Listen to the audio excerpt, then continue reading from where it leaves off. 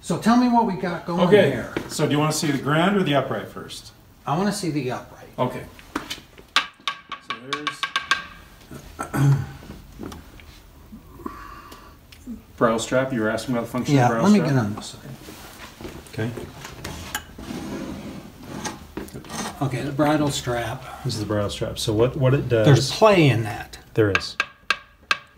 Yeah. And you can see it. It doesn't really come into play. It really doesn't. Mm-mm. So there are Huh. there's one main purpose of the bridle strap, and then there's a second purpose that is somewhat Is this leather? canvas. Canvas. Mm-hmm. And then this is like a hardened suede. Mhm.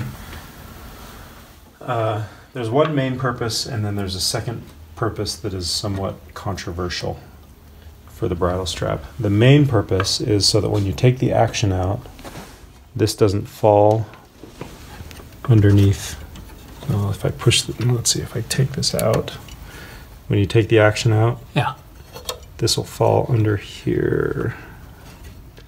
Yeah, I can't get it under there. Yeah, I see what you mean. It falls under Yeah. there. Yes. And then when you put the action back in, if it if it does fall under there, it uh, it is a major hassle Yeah. to have to trip every single jack on all 88 notes to get it back out to where it's supposed to be. So the bridle strap essentially makes the piano more easy to more easily uh, serviceable. Ah, so so it really doesn't tether it. Well, and that's the and that's the controversial. Some people say that it assists in repetition.